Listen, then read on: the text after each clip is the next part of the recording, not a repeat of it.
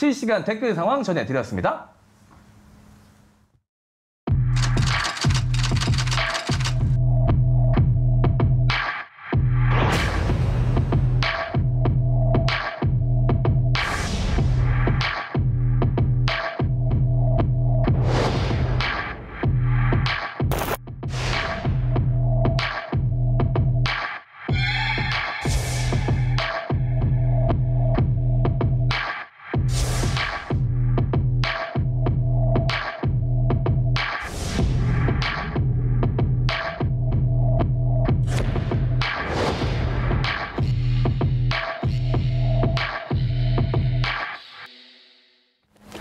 네, 아, 오늘의 킹덤 주제 국회의원 면책 특권 방탄복인가입니다. 자, 국회의원 면책 특권 번번이 논란이 되고 있습니다. 아, 이번 국감에서 라임 옵티머스 의혹과 관련해서 여야 일부 의원들이 미확인 정보를 활용한 무차별 무책임 폭로를 남발했습니다.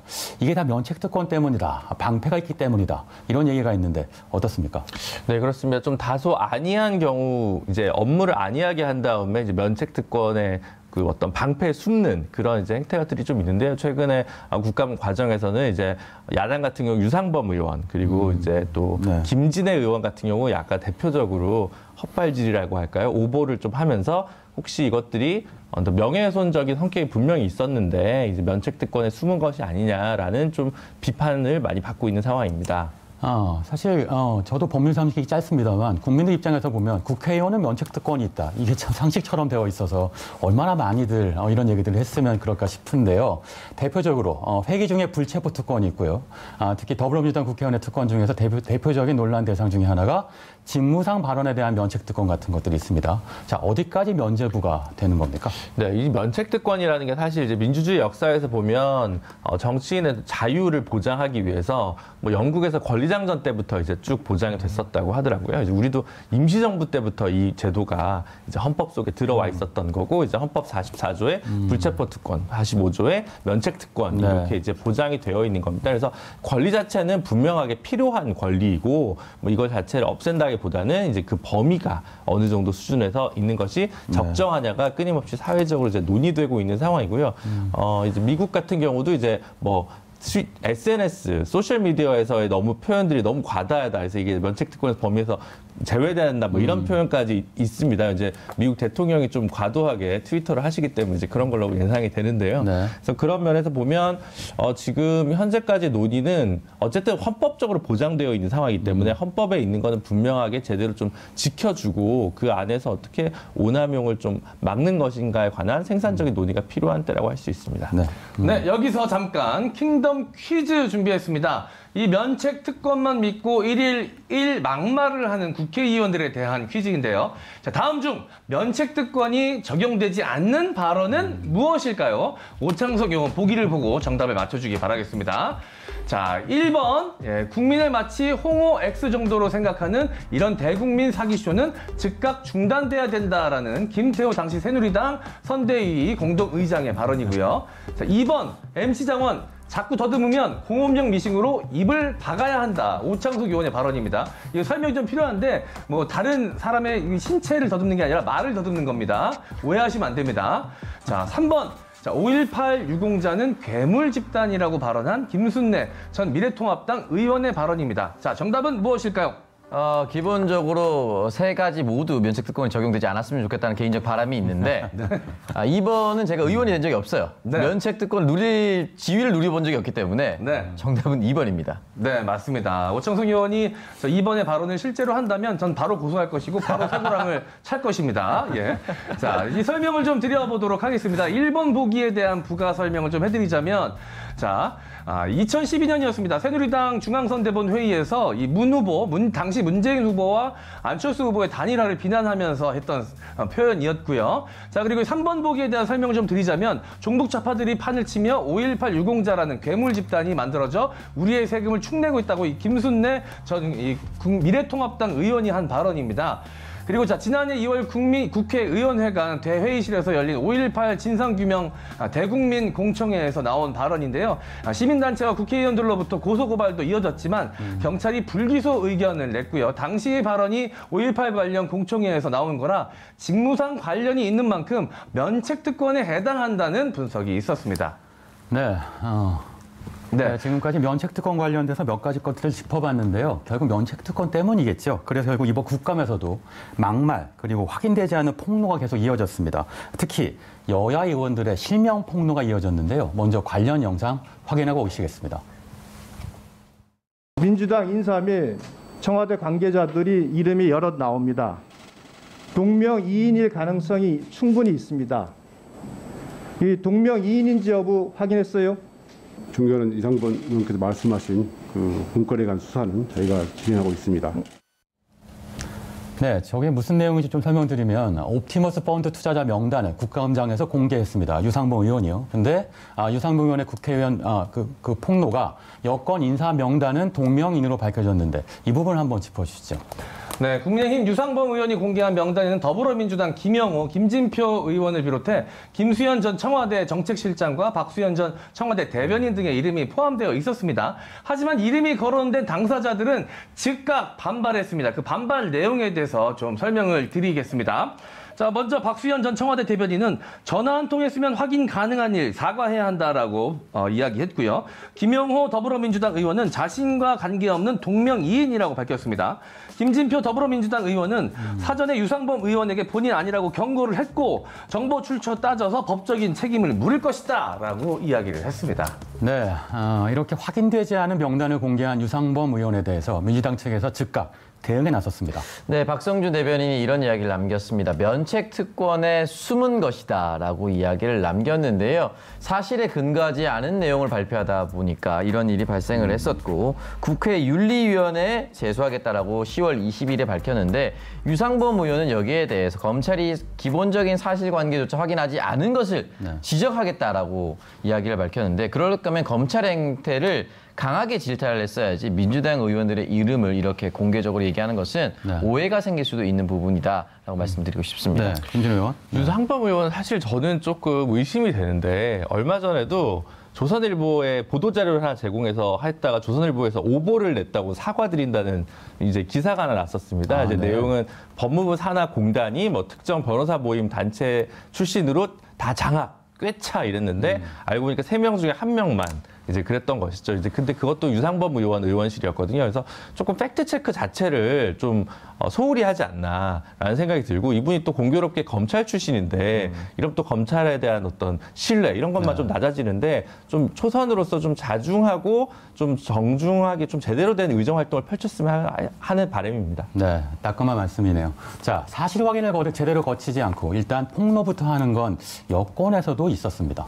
네, 김진애 의원은 지난 19일 국회 이 법사위 예, 국감장에서 라임 사태 핵심 인물인 김봉현 전 스타모빌리티 회장이 언급한 술접대 검사와 관련해서 발언을 했습니다. 네. 이성범, 윤갑근 양쪽에 있는 분은 김봉현이 룸사롱에서 접대했다는 세명의 검사들 중 두명으로 알고 있습니다 라고 이야기를 했는데요. 발언에 등장한 윤갑근 전 대구 고검장은 이 법조 기자단에게 나는 김봉현도 모르고 거기에 언급된 검사나 누구와도 룸사롱을 간 적이 없다. 김진애 의원 이 명백한 허위 사실을 말했기 때문에 민영사상 책임을 물겠다라면서 20일 이 김진애 의원을 상대로 1억 원의 손해배상 청구 소송을 제기했습니다.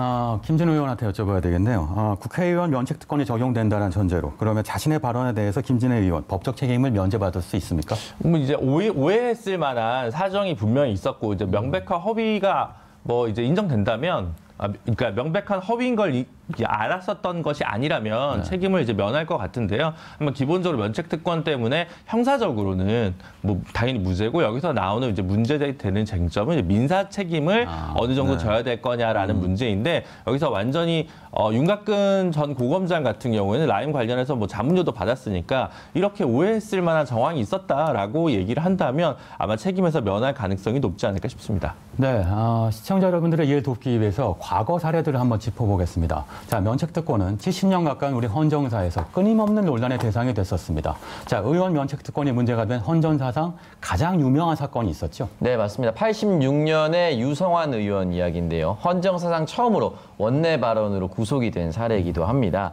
여기에 대해서 이제 국시 발언이라고 이야기를 하는데 아, 그 네, 당시를 국시 발언. 우리가 네. 보통 반공을 국시로 삼고라는 단어 많이 들어보셨습니다. 네. 이 문장. 사실은 5.16 쿠데타 이후에 박정희 정권에서부터 이제 사용했었던 단어인데 법률 법률적인 효력은 없습니다. 근데 국가가 정한 방안 뭐 방향성 정도로 볼 수가 있는데 그 당시만 하더라도 반공이 국시다라는 것이 너무나도 명확한 기조였으나 80년대니까요. 네, 통일이 국시다라고 이야기를 하면서 이것이 굉장히 논란이 됐고 결국은 국가보안법 위반 혐의로 이제 감옥살이를 실제 했습니다. 네. 물론 이제 그 후에 이제 병보석으로 풀려나서 최종 무죄 판결을 받긴 했었지만 당시로서는 가장 뜨거운 사건이었고 면책 특권을 둘러싼 가장 큰 논란 이었다라고 볼 수가 있습니다. 네, 이 사건 관련해서 조금만 더 짚어주시죠. 결국 대법원에서 면책 특권을 적용해서 무죄 판결을 내리는 이유가 있죠. 근데 사실 이유보다는 이걸 기소하고 재판을 6년씩 끌었던 게 어떻게 보면 일종의 야당 탄압 아니었나라고 전형적으로 바라볼 수 있는 것이고요. 발언 자체는 어쨌든 직무상 국회 내에서 했던 발언이기 때문에 이 법리적으로 그렇게 까다로운 게 아니라 이걸 질질 끌었던 것들이 사실은 시대상을 어떤 반영한 사건 혹은 에피소드가 아니었나 좀 생각이 듭니다. 그래서 결국은 유성환 의원 같은 경우에 당시에 요건으로 무죄가 나는데 별건을 통해서 일부 유죄가 나는 이제 비극적인 일이 있었습니다. 그렇군요. 아, 네. 반면에 면책특권의 범위가 다시 줄어든 사건도 있었습니다. 고 노회찬 의원이었는데요. 의원직 박탈까지 갔었죠. 네, 그렇습니다. 이게 가장 희극적인 사건 혹은 이거- 이건희 회장이 죽은 상황에서 이게 가, 장 어떻게 보면 아이러니하게 오늘 이제 이 얘기를 하게 된 셈인데요. 당시에 그 이학수 전 부회장, 홍석현 중앙일보 사주 등이 모여서 같이 검찰에 대해서 어떤 어, 떡값을 쭉 돌리는 일상적으로 돌리는 얘기의 녹음 파일과 그 이제 리스트와 관련됐던 내용들을 노회찬 의원이 국회 정론관에서 발표를 하고 네. 거기에 대해서 다시 홈페이지에 게시를 했습니다. 그런데 국회 정론관에서 기자회견에서 발표한 것은 무죄, 네. 홈페이지에 올린 것은 유죄라는 굉장히 시대착오적인 바- 그 어떤 결정을 대법원에서 하면서 그 당시 노회찬 의원이 이른바 배지가 날아가는 비극적인 일이 있었습니다. 네, 어, 이런 사건들을 거치면서요, 어, 우리나라 국회의원들이 보고받는 면책 특권의 기준과 범위가 좀 정리되고 있는 것 같은데 한번 분석해 주시죠.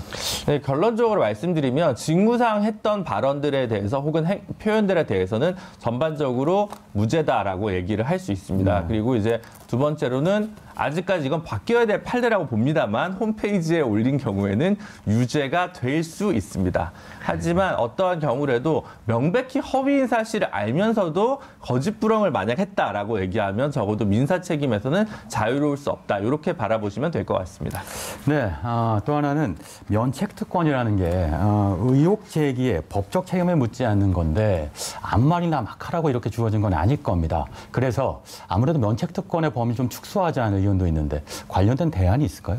근데 이제 헌법적으로 규정이 되어 있기 때문에 예를 들면 우리가 이제 법을 사실 많이 우리가 카피하는 게 독일입니다. 독일은 이제 헌법이라고 안 하고 기본법이라고 하는데요. 네. 어, 독일 같은 경우도 기본 적으로 직무상 했던 발언과 관련해서는 면책특권을 기본법에 규정하고 있습니다. 네. 다만 어, 중상적인 모략을 한 경우에는 예외로 한다라는 이제 규정을 두고 있는 것이거든요. 그래서 그런 뭐 만약에 이제 개헌이 다시 된다면 그런 정도로 범위를 줄이는 방식이 가장 법 이론적으로는 좀 깔끔하다고 할 수 있고요. 다음으로는 국회 내의 자정 능력을 좀 신뢰 한번 해보고 네. 윤리특위의 기능을 좀 강화하고 활성화하는 방식으로 대안을 모색하는 것이 다른 방법이라고 할 수 있겠습니다. 저 개인적인 생각이지만 이 국회의원분들은 면책 특권도 유지하되 만약에 법적으로 따져봤을 때 문제가 있을 때 있다 판단이 내려지면 가중책 특권도 좀 있었으면 좋겠습니다. 아, 네. 네. 역시 이제, 이제 헌법성으로 좀 논란이 될 수 있는 네. 이제 쟁점인 것 아, 제 같습니다. 개인적인 바람이었습니다. 네, 네, 예. 네.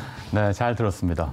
아, 네, 오늘 국회의원 면책 특권 방탄복인가를 주제로 얘기 나눠봤습니다. 오늘의 킹덤으로 이렇게 제시해 봅니다. 면책 특권은 대의민주주의에 충실하라고 국민이 쥐어준 특권이다. 막말을 할 수 있는 특혜가 아닌 국민이 준 특권이라는 점 국- 국회의원들은 명심하시기 바랍니다. 네, 관련해서 코로나 상황 전해 주실까요? 네. 네. 자, 실시간 코로나 상황 알려드리도록 하겠습니다. 준비되어 있죠? 네. 자, 오늘 26일 월요일 0시 기준 신규 확진자는 119명이고요. 국내 발생자는 94명입니다. 해외 유입 환자는 25명입니다. 누적 확진자 수는 25,955명